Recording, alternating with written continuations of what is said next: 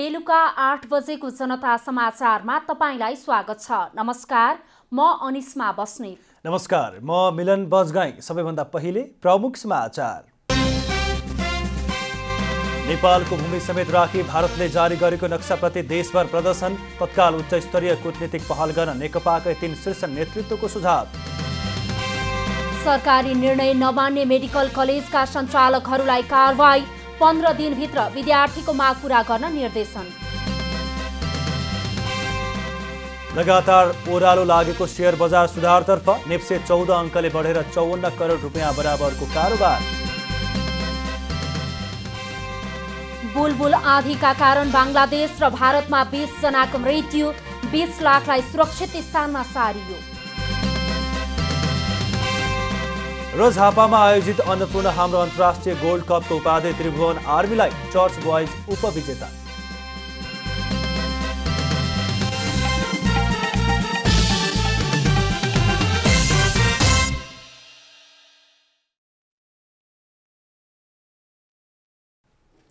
अब पुरा समाचार।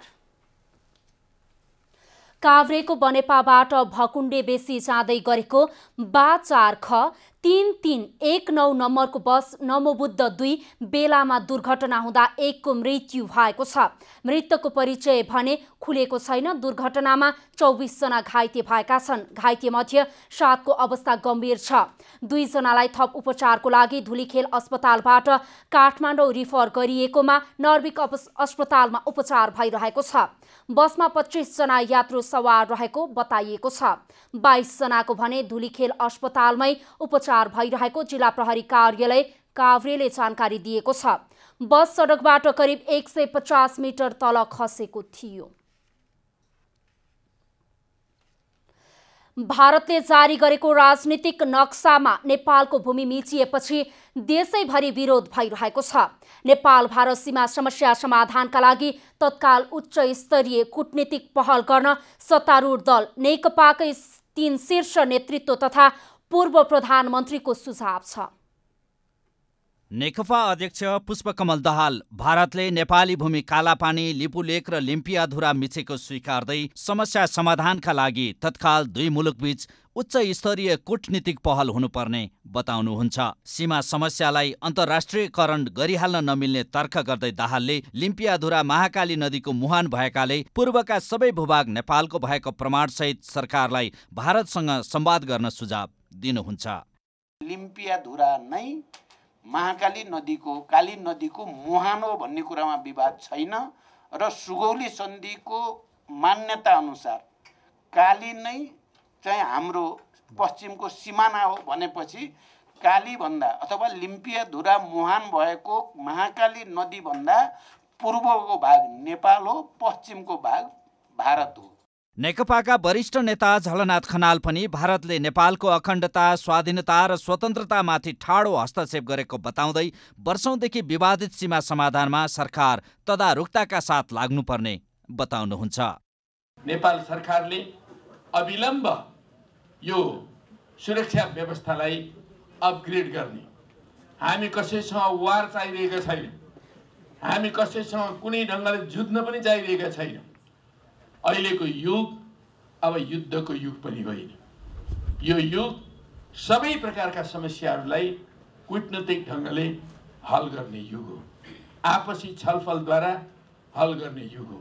नेकपाकै वरिष्ठ नेता माधव कुमार नेपाल भारतद्वारा जारी नक्साका कारण सिङ्गो मुलुक नै एक भएको र सरकार पूर्ण तयारीका साथ भारतसँग वार्तामा बस्नुपर्ने तर्क गर्नुहुन्छ। भारतमा नरेन्द्र मोदी प्रधानमन्त्री छन्।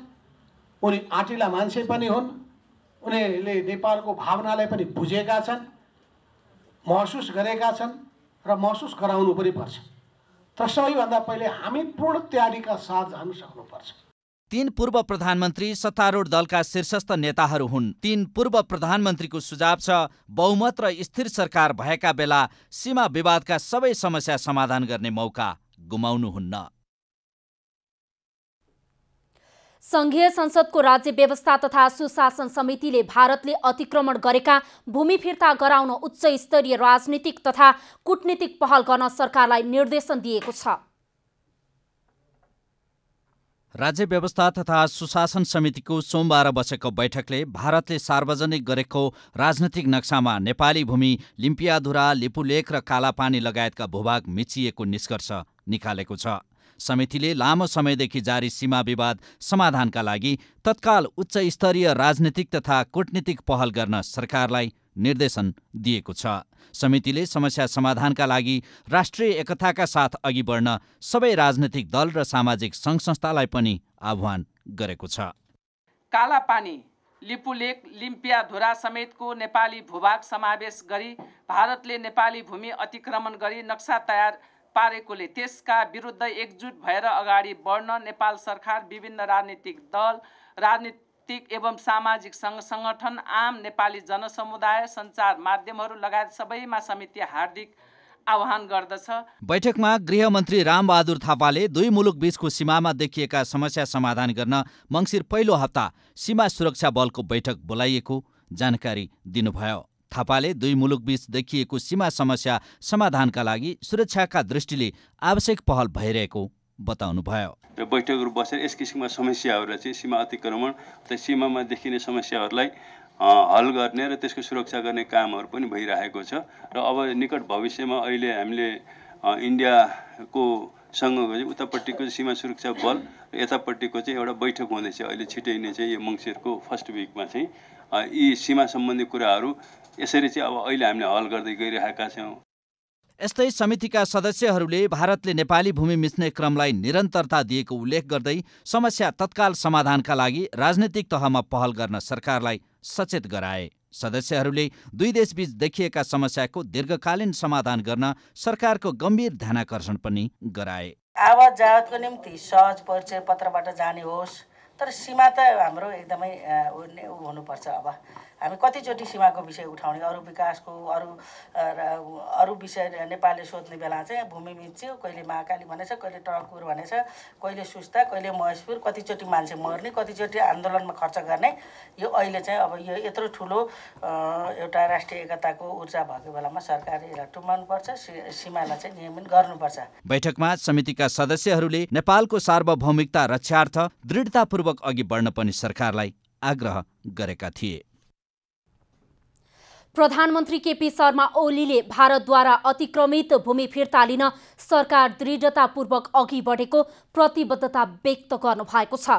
सत्तारूढ दल नेकपाका अध्यक्ष समेत रहनुभएका प्रधानमन्त्री ओलीले नेपालको सीमाको रक्षा गर्न र भारतद्वारा अतिक्रमित नेपाली भूमि फिर्ता ल्याउन सरकार प्रतिबद्ध रहेको बताउनु भएको हो।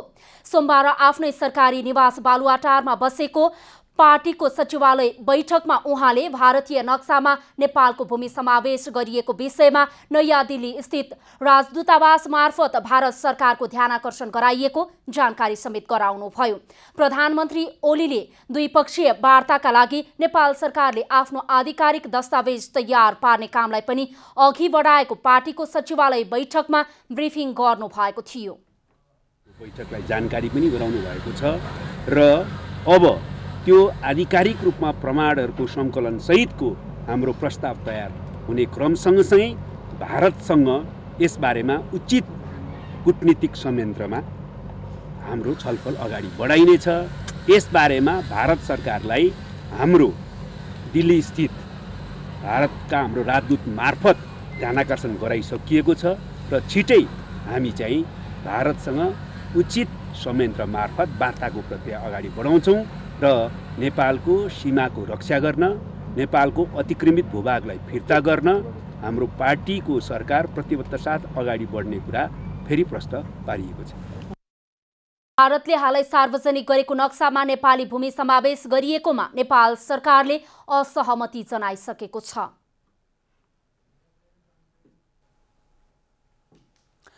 परराष्ट्र मन्त्री प्रदीप ग्यावालीले भारतद्वारा अतिक्रमित नेपाली भूमि फिर्ता हुनेमा ढुक्क हुन सबैलाई आग्रह गर्नुभएको छ। परराष्ट्र मन्त्री ग्यावालीले मुलुकको सार्वभौमिकताको रक्षा र नागरिकको सुरक्षा गर्ने प्रमुख दायित्व पुरा गर्न सरकार सधैँ तत्पर रहेको पनि स्पष्ट पार्नुभयो। आज सङ्घीय संसदको अन्तर्राष्ट्रिय सम्बन्ध समितिको बैठकमा बोल्दै उहाँले नेपाली भूमि कसैलाई पनि मिस्न नदिने गरी समस्या समाधान गर्न सरकार लागि परेको बताउनुभयो। मन्त्री ग्यावालीले भारतले हालै आफ्नो राजनीतिक नक्सामा समावेश गरेको कालापानी लगायतका नेपाली भूमि नेपालको हो भन्ने प्रमाण सरकारसँग रहेकाले चिन्ता नलिन सबैलाई आग्रह गर्नुभयो।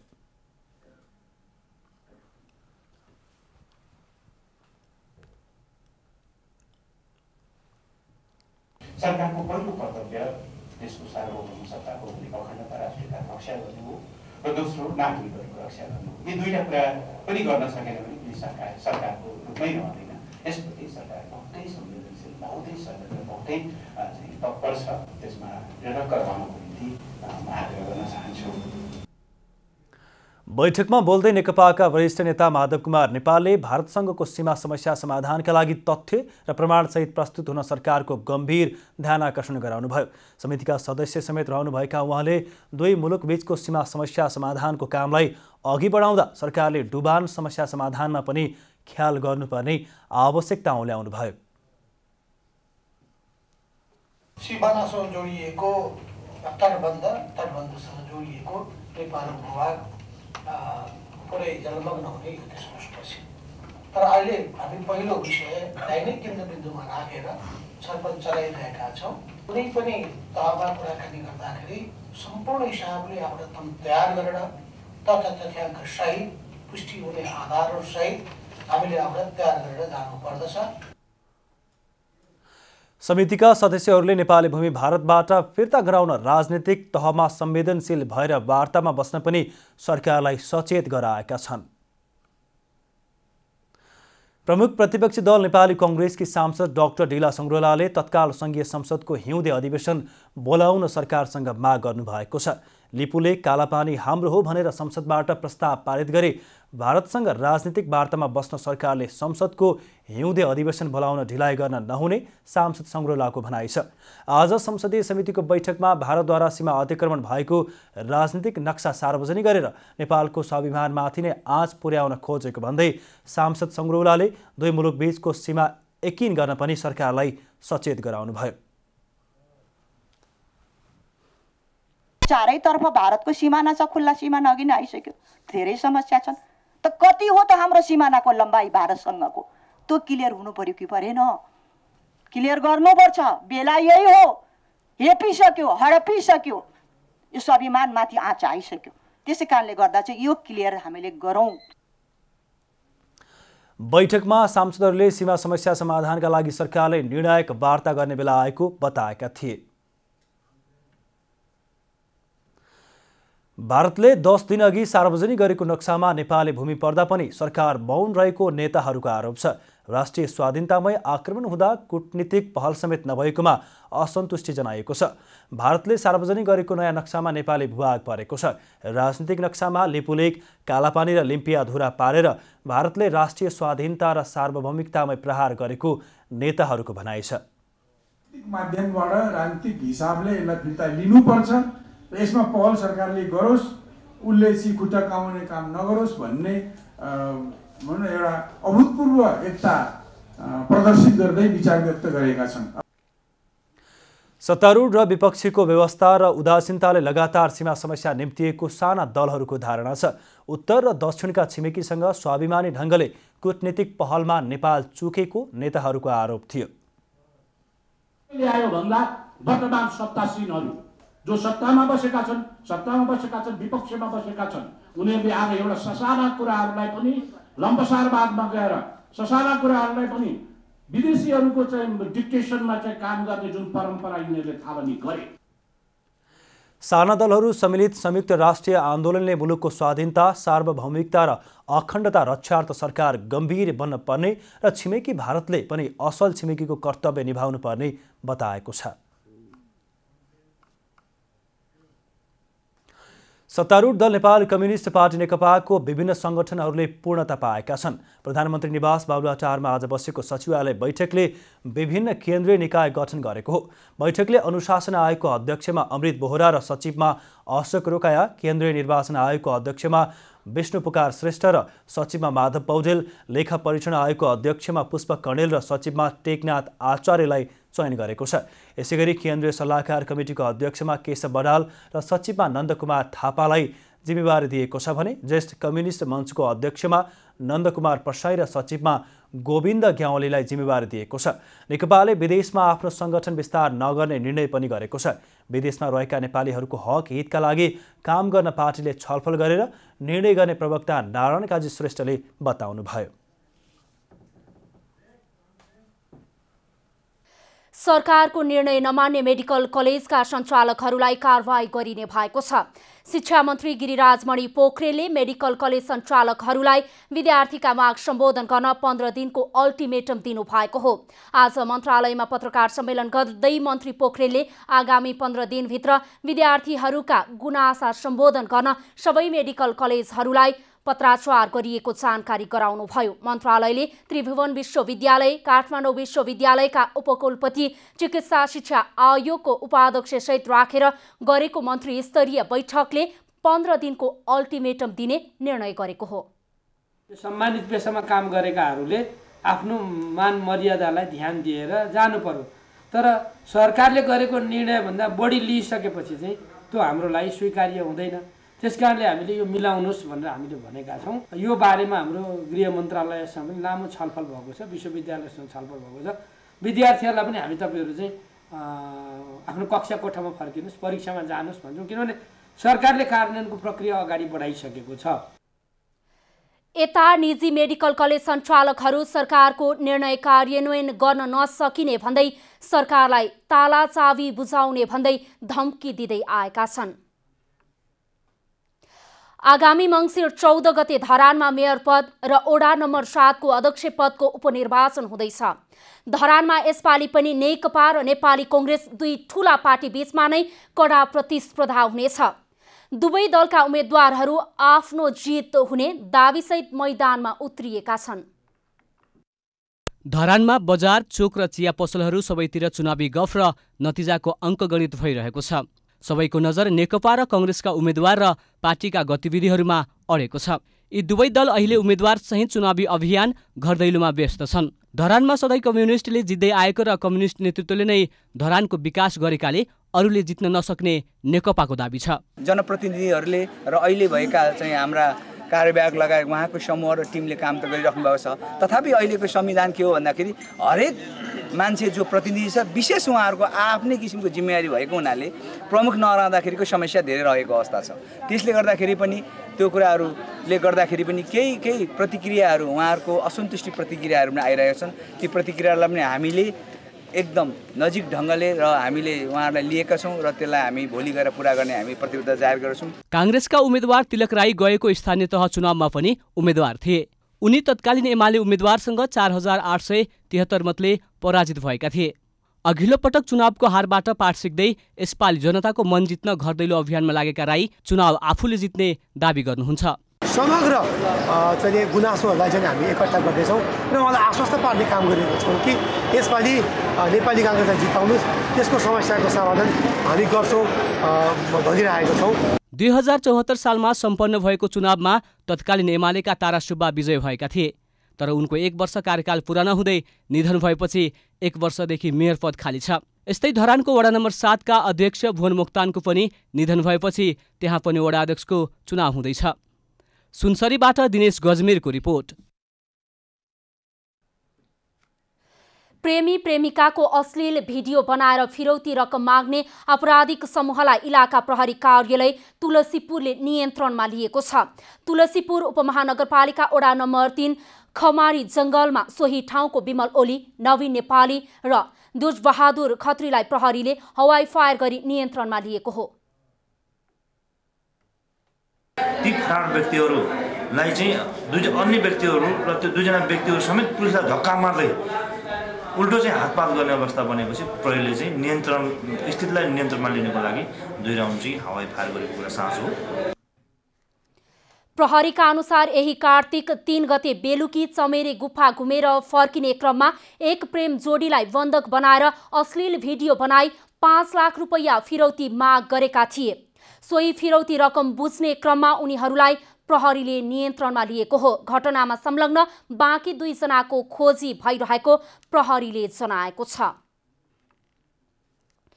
किराँत धर्मगुरु तथा राष्ट्रिय विभूति फाल्गुनन्दको आज एक सय पैँतिसौँ जन्म जयन्ती मनाइएको छ। फाल्गुनन्दको जन्म विक्रम सम्बत उन्नाइस सय बयालिसको कार्तिक पच्चिस गते आइतबारका दिन इलाम जिल्लाको इभाङ पाँच चुक्ची नाम्बामा भएको थियो। बाबु जगनवाज लिम्बू लिङदेन र आमा हंसमती लिम्बूका साइला छोराका रूपमा जन्मिएका फाल्गु नन्दको न्वारनमा ज्योतिषले राखेको नाम भने नरध्वज लिङदेन थियो। किराँती समुदायमा मदिरापान सुर्ती सेवन विवाहमा हुने विकृति लगायतका विभिन्न कुसंस्कारको अन्त्य गर्दै मौलिक किराँत संस्कृति जगेर्नाका लागि फाल्गु नन्दले खेलेको भूमिकाका कारण किराँती समुदायले फाल्गु नन्दलाई आफ्ना धर्मगुरु मान्ने गर्दछन्। महागुरु फाल्गुनन्दको उपदेशलाई सम्झिनु पर्दाखेरि पहिलो नम्बर उहाँको के भन्नुहुन्थ्यो भने संस्कार भनेको सभ्यता हो तर सही संस्कार हुनुपर्छ। जुन संस्कार नै दानव पनि हो तर त्यो दानवीय संस्कारलाई त्यागेर मानवले मानवको व्यवहार गर्नुपर्छ र मानव कर्म गर्न सक्नुपर्छ। प्रेम र सत्यनिष्ठा र सद्व्यवहारका प्रतिमूर्ति तथा प्रेम र अहिंसाका अनुयायी फाल्गु नन्दको तस्विर राखेर सन् उन्नाइस सय त्रियानब्बेदेखि नेपाल सरकारले हुलाक टिकट पनि जारी गरेको छ। फाल्गु नन्दको योगदानको कदर गर्दै नेपाल सरकारले दुई हजार छैसठी मङ्सिर सोह्र गते राष्ट्रिय विभूति घोषणा गरेको छ। उहाँ एउटा दैवी शक्ति भएको व्यक्तित्व भनेर चाहिँ आठ सालदेखि नै सुरु भयो। त्यस पछाडि जीवनी धेरै लामो छ। उहाँ के अरे पल्टन जानुभयो।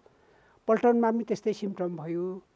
अनि यो के अरे दोस्रो विश्वयुद्धमा उहाँ पछि समावेश हुनुभयो।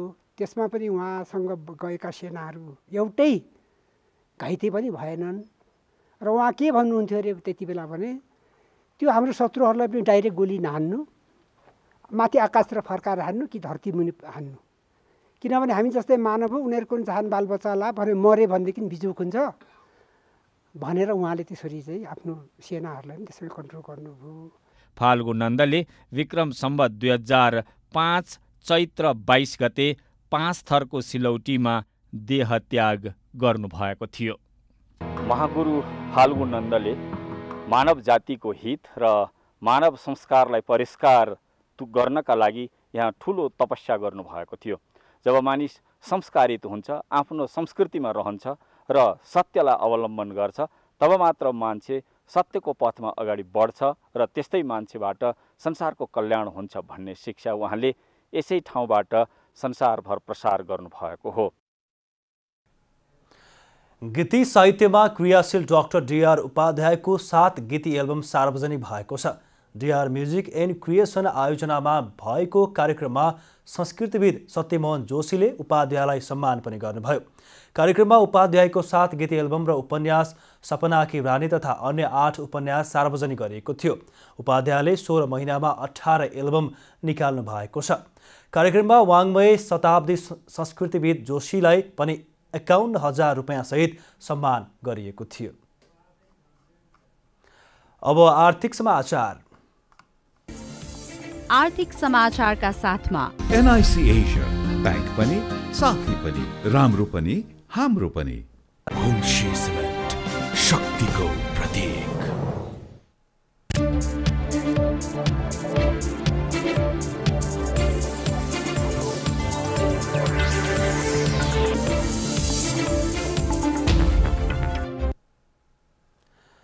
धेरै समयपछि सेयर बजार परिसूचक नेप्से करिब चौध अङ्कले बढ्नुका साथै कारोबार रकम पनि बढेको छ। आज नेप्से तेह्र दशमलव तिन तिन अङ्कले बढेर एघार सय पैँतालिस दशमलव पाँच सात अङ्कमा पुगेको हो। बजारमा क वर्गका परिसूचकहरूको मापन गर्ने सेन्सिटिभ इन्डेक्स तिन दशमलव दुई आठ अङ्कले बढेको छ। बजारमा कारोबारमा आएका अन्य बाहेक बाँकी सबै समूहको परिसूचकमा सुधार आएको हो। वाणिज्य ब्याङ्क समूहको परिसूचक आज बाह्र अङ्कले बढेको छ। एक सय पचहत्तर कम्पनीका उन्नाइस लाख पन्चानब्बे हजार अडचालिस किता सेयर छ हजार छ सय अडचालिस पटक खरिद बिक्री हुँदा चौन्न करोड रुपियाँ बराबरको कारोबार भएको छ। विगत दुई महिनामा यता सेयर कारोबारमा गिरावट हुँदै आएको थियो। बजारमा एनएमबी बैङ्क एक्लैको करिब चौध करोड रुपियाँ बराबरको कारोबार भएको नेप्सेले जनाएको छ। नेपाल राष्ट्र बैङ्कले मुलुकको आर्थिक विकासमा केन्द्रित नहुने बैङ्क तथा वित्तीय संस्थाहरूलाई कडा कारवाही गर्ने चेतावनी दिएको छ। नेपाल राष्ट्र बैङ्कका गभर्नर डाक्टर चिरञ्जीवी नेपालले बैङ्क तथा वित्तीय संस्थालाई निजी उद्योगको रूपमा सञ्चालन गर्न खोज्ने राष्ट्र बैङ्कले कडा कारवाही गर्ने चेतावनी दिनुभएको हो। उहाँले जनताको पैसा उठाएर सञ्चालनमा आएका बैङ्क तथा वित्तीय संस्था निजी नहुने भएकाले उनीहरूले मुलुकको समृद्धिका लागि आफूसँग सङ्कलन भएको निक्षेप परिचालन गर्नुपर्ने पनि स्पष्ट पार्नुभयो। आज काठमाडौँमा समृद्धि फाइनान्स कम्पनी लिमिटेडको उद्घाटन गर्दै उहाँले जनताको पैसा लिएका बैङ्क तथा वित्तीय संस्थाहरूलाई आफ्नो निजी उद्योगको जसरी जथाभावी लगानी गर्न नदिने बताउनुभयो।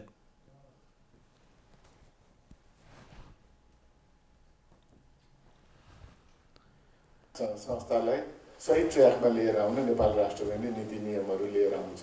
किन ब्याङ्क र वित्तीय संस्था भनेको पब्लिक हो।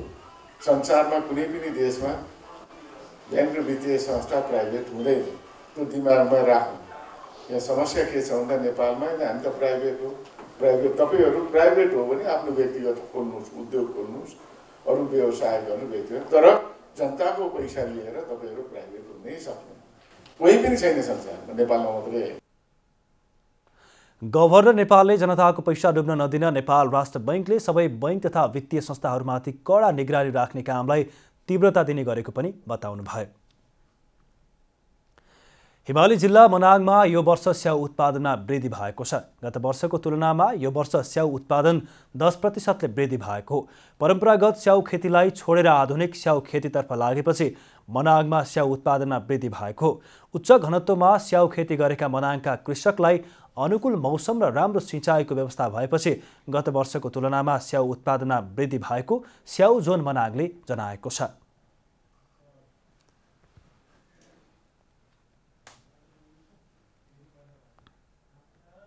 हाम्रो यस हिमाली जिल्ला मनाङमा गत वर्षसम्म बयानब्बे हेक्टरमा स्याउ खेती हुँदै आएकोमा कुल नौ सय सोह्र मेट्रिक टन उत्पादन भएको थियो र यस वर्ष स्याउको क्षेत्रफल पनि बढ्ने र कुल हाम्रो गत वर्षको उत्पादनमा स्याउ उत्पादन दस प्रतिशतसम्म बढ्ने अनुमान गरिएको छ।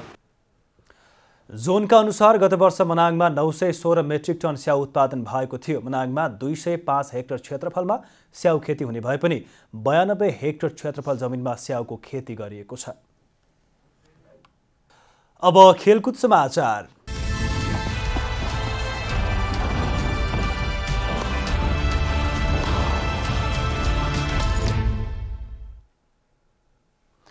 विभागीय टोली त्रिभुवन आर्मी क्लबले झापामा आयोजित अन्नपूर्ण हाम्रो अन्तर्राष्ट्रिय गोल्ड कपको उपाधि उचालेको छ। डुमालाल राजवंशिङ रङ्गशालामा आज भएको फाइनल खेलमा चर्च बोइज युनाइटेडमाथि दुई शून्यको सहजित निकाल्दै आर्मी च्याम्पियन बनेको हो। यो सँगै विजेता आर्मीले नगद बाह्र लाख पचास हजार तथा उपविजेता चर्च बोइजले नगद छ लाख पच्चिस हजार पुरस्कार पाएका छन्। आर्मीलाई च्याम्पियन बनाउन कप्तान टेक बहादुर बुढाथोकीले दुई गोल गरे। खेलको बत्तीसौँ मिनटमा बुढाथोकीले एक गोल गर्दै आर्मीलाई अग्रता दिलाएका थिए। दोस्रो हाफको अस्सीौँ मिनटमा बुढाथोकीले थप एक गोल गर्दै टिमको अग्रता दोब्बर बनाए। खेलको उत्कृष्ट गोलरक्षक आर्मीका गोलरक्षक विवश चौधरी घोषित हुँदा चर्च बोइजका सुनिल खड्का उत्कृष्ट मिडफिल्डर घोषित भए। त्यस्तै आर्मीका दिपक गुरुङ उत्कृष्ट रक्षक घोषित हुँदा आर्मीकै टङ्क बस्नेत गोल्ड कपकै उत्कृष्ट फरवार्ड घोषित भए। फाइनल खेलको man of the match church बोइजका Ashok Khawas घोषित हुँदै पुरस्कृत भए गोल्ड कपकै उत्कृष्ट खेलाडी आर्मीका कप्तान टेक बहादुर बुढा थोकी घोषित भए। उत्कृष्ट प्रशिक्षकमा आर्मीकै नवीन नेउपाने घोषित भए गोल्ड कपमा भारतका दुई टिमसहित दसवटा टिम सहभागी थिए। नेपालमा आयोजना हुने तेह्रौँ दक्षिण एसियाली खेलकुद सागका लागि नेपाली अन्डर ट्वेन्टी थ्री राष्ट्रिय फुटबल टिमको घोषणा भएको छ। अखिल नेपाल फुटबल सङ्घ एन्फाले सोमबार बिस सदस्यीय नेपाली टिमको घोषणा गरेको हो। मुख्य प्रशिक्षक बाल गोपाल महर्जनले घोषणा गरेको साग टिममा सिनियर टिमका विकेश कुथु विक्रम लामा र सुजल श्रेष्ठ परेका छन्। सागमा तेइस वर्ष मुनिका खेलाडीले प्रतिस्पर्धा गर्नेछन् जसमा तिनजना सिनियर खेलाडी राख्न पाइन्छ। टिमको घोषणा गर्दै मुख्य प्रशिक्षक महर्जनले लामो समयबाट तयारी गरेको र टिमका सबै खेलाडी उत्कृष्ट फर्ममा रहेकाले उपाधि जित्ने दावी गर्नुभयो।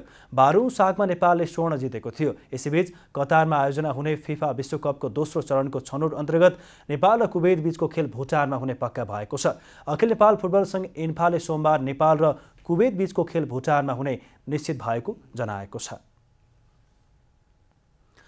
एबिसी सेन्ट्रल जोन महिला भलिबल प्रतियोगितामा नेपालले लगातार दोस्रो जित हात पारेको छ। पहिलो खेलमा अफगानिस्तानलाई तिन शून्यको सोझो सेटमा हराएको नेपालले आज भएको दोस्रो खेलमा किर्गिस्तानलाई पनि तिन शून्यकै सेटमा पाखा लगाएको छ। नेपालले पहिलो सेटमा पच्चिस पन्ध्र दोस्रो सेटमा पच्चिस उन्नाइस र तेस्रो सेटमा पच्चिस बिसले किर्गिस्तानलाई पराजित गरेको हो। आइतबार नेपालले पहिलो खेलमा अफगानिस्तानमाथि तिन शून्यको सेटमा सहज जित हात पारेको थियो। प्रतियोगितामा पाँच टिमको सहभागिता रहेको छ। प्रतियोगितामा नेपालसहित किर्गिस्तान मालदिव्स बङ्गलादेश र अफगानिस्तान सहभागी रहेका छन्। राउन्ड रोबिन लिगका आधारमा सञ्चालन भइरहेको प्रतियोगिताको शीर्ष दुई टिमले उपाधिका लागि प्रतिस्पर्धा गर्नेछन्। प्रतियोगिता अन्तर्गत भोलि नेपालले बङ्गलादेशसँग प्रतिस्पर्धा गर्नेछ। अब मौसम समाचार।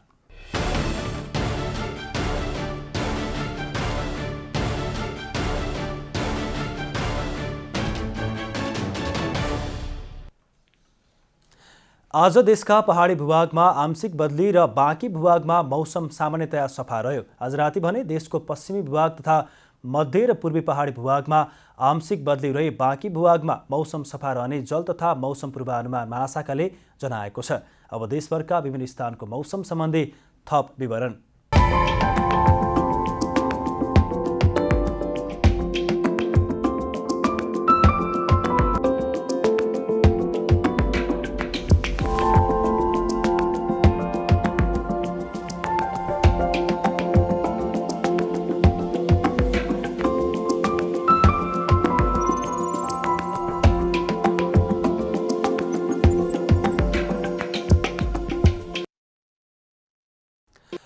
अन्त्यमा आजको डायरी।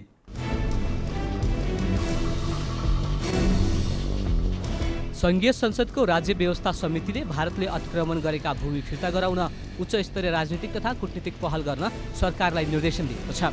राज्य व्यवस्था तथा सुशासन समितिको सोमबार बसेको बैठकले भारतले सार्वजनिक गरेको राजनीतिक नक्सामा नेपाली भूमि लिम्पियाधुरा लिपुलेख र कालापानी लगायतका भूभाग मिचिएको निष्कर्ष निकालेको छ। प्रधानमन्त्री केपी शर्मा ओलीले भारतद्वारा अतिक्रमित भूमि फिर्ता लिन सरकार दृढतापूर्वक अघि बढ्ने प्रतिबद्धता व्यक्त गर्नुभएको छ। सत्तारूढ दल नेकपाका अध्यक्ष समेत रहनुभएका प्रधानमन्त्री ओलीले नेपालको सीमाको रक्षा गर्न र भारतद्वारा अतिक्रमित नेपाली भूमि फिर्ता लिन सरकार प्रतिबद्ध रहेको बताउनु भएको हो। प्रमुख प्रतिपक्षी दल नेपाली काङ्ग्रेसकी सांसद डाक्टर दिला सङ्ग्रौलाले तत्काल सङ्घीय संसदको हिउँदे अधिवेशन बोलाउन सरकारसँग माग गर्नुभएको छ। लिपुले कालापानी हाम्रो हो भनेर संसदबाट प्रस्ताव पारित गरी भारतसँग राजनीतिक वार्तामा बस्न सरकारले संसदको हिउँदे अधिवेशन बोलाउन ढिलाइ गर्न नहुने सांसद सङ्ग्रौलाको भनाइ छ। बङ्गलादेश र भारतको तटीय क्षेत्रमा बुलबुल नाम दिइएको सामुद्रिक आँधीका कारण मृत्यु हुनेको सङ्ख्या बिस पुगेको बङ्गलादेशका अधिकारीहरूले जनाएका छन्। आँधी प्रभावित बिस लाखभन्दा बढी व्यक्तिलाई अस्थायी शिविरमा राखिएको छ। नेपालमा आयोजना हुने तेह्रौँ दक्षिण एसियाली खेलकुद सागका लागि नेपाली अन्डर तेइस राष्ट्रिय फुटबल टिमको घोषणा भएको छ। अखिल नेपाल फुटबल सङ्घ एल्फाले सोमबार बिस सदस्यीय नेपाली टोलीको घोषणा गरेको हो।